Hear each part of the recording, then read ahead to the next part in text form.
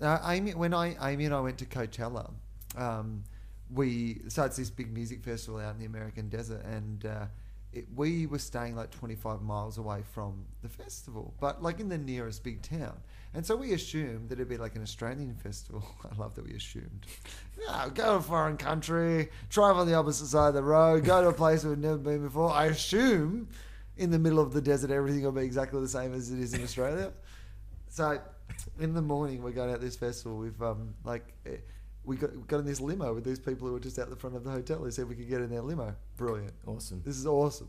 We're sharing a limo out with these guys. We go to this festival. It's 40 degrees. It's in the middle of the desert.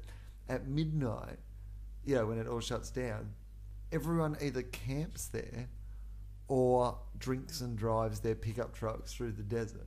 There are no cabs. Yeah. There are no buses. There is Yeah. no public transport all back to town, which we just could not believe when we discovered that at 5 to 12 that night Yeah, as opposed to maybe any time that day when we could have inquired. And so we've decided, oh, well, we've got to walk to an intersection or something and get a cab, and we're pretty drunk.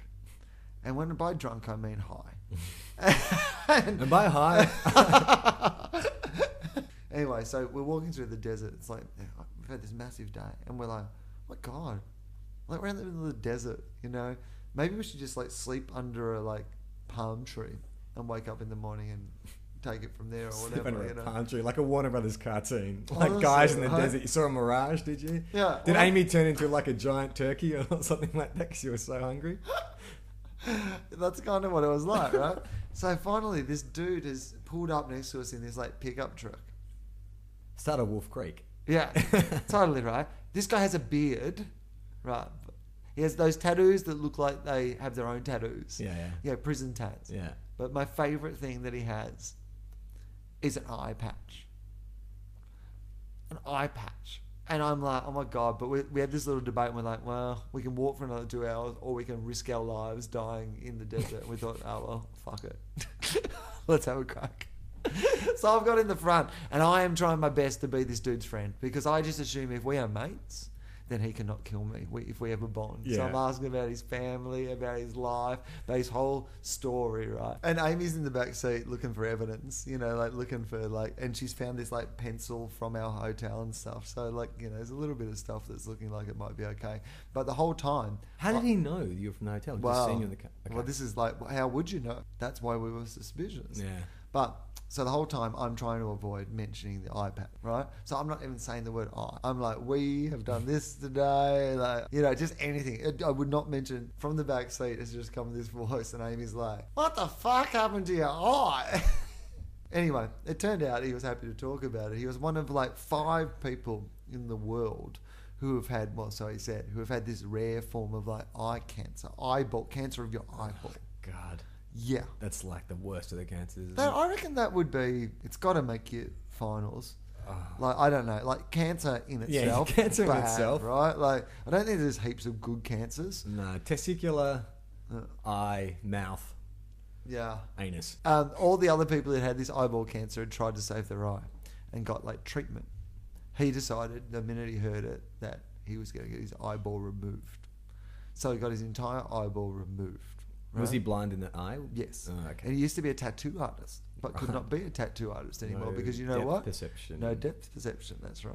you can't be a tattoo artist when you're a big bloke with an eye patch. Apparently, it doesn't elicit uh, a lot of confidence. So he still owned his tattoo parlor, but he wasn't able to work there anymore. So he became a gardener at the hotel that we were staying at. Ah, it's all Because back checking down, out. down there, they all have um, like golf courses attached to these This in Palm hotels Springs. in Palm Springs. And uh, so him and his mates would go down to a local bar and they would do shots out of his eye socket. Okay. Yeah. Would you do it? If you were still scared in that car, like before, you know, you'd figured him out that he's actually legit. Yeah. If he had said, you know, get in my car, son, you're gonna do a shot out of my eye, would you have done it? Like you thought your life Of was in danger? alcohol. Yeah. No, what else? Come. I know. No, shot of cum. I just jacked off into my eye socket. Now you're gonna drink it. Open Did up. he, did he jack off directly into his eye socket or did he have like some sort of funnel or something that. Because it would be, well, you couldn't. Uh, my point Mate. being that if he is such a good aim. Like he only has one eye, Yeah. and he still has like without depth perception and one eye, he still has enough control to I ejaculate reckon I could straight do it. into his eye socket. You don't reckon you could do that? No way! That distance? Are you serious? Get down I low, mean, I could dude. do it, but like by that distance, it sprays out in all sorts of directions. What are you talking about? That You could easily put your. Think? Could you shoot yourself in the eye with your cum? Wouldn't it have like sprayed out a bit by then? Get right. Hang on. Oh, I'm gonna. My got head's gonna right go down. off mic. I'm saying to squat down. But that was not. Or- that's not a very or alternatively, place to ejaculate. Go back on your shoulders so your hips are higher. Charlie has a series of diagrams that are available for download.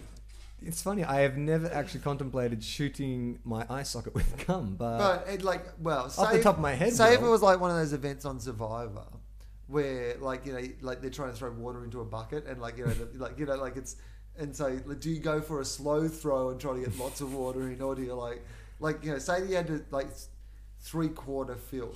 I think if he got a drop in, that would quantify you having to suck it out. Oh, okay. I mean, we're not saying it's to fill it up. I don't know. I don't know how, even know how much an eye socket would hold, but I I reckon an eye socket would be more than ample for one load. yeah, I mean I don't know. I'm no expert on this. Anyone topic. listening to this, if you want to email us, no, but can I ask you this?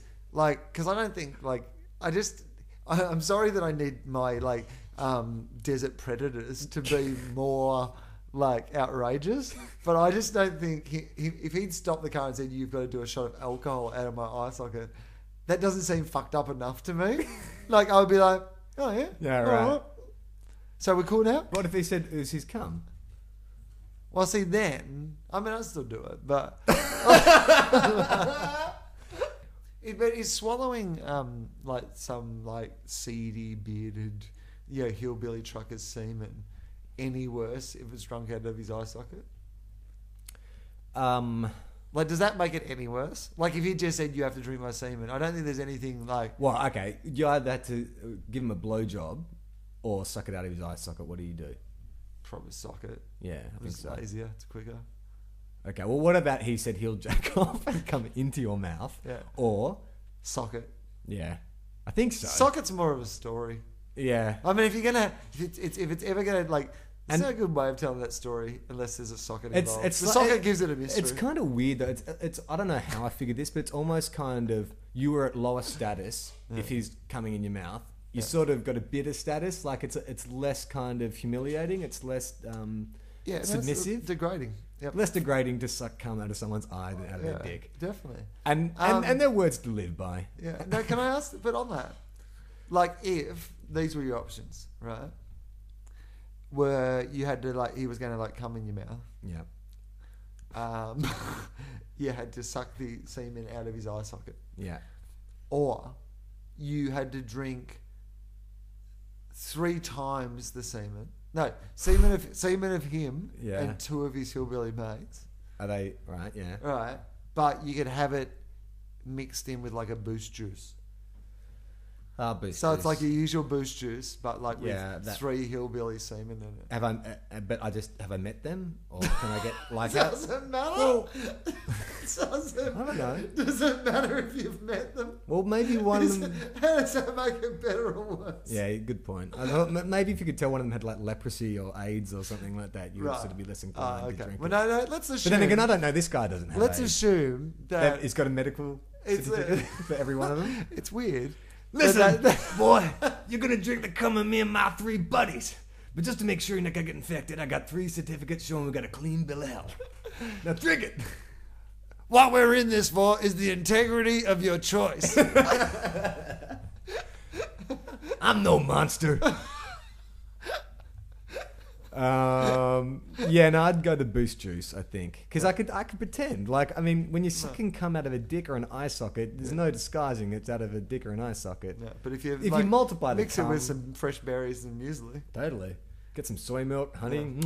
It should be on the uh, new boost juice uh, menu. You know they've Would got you all the- like they've got a their protein boost, an immunity boost, or Darren can jack off raspberry rye?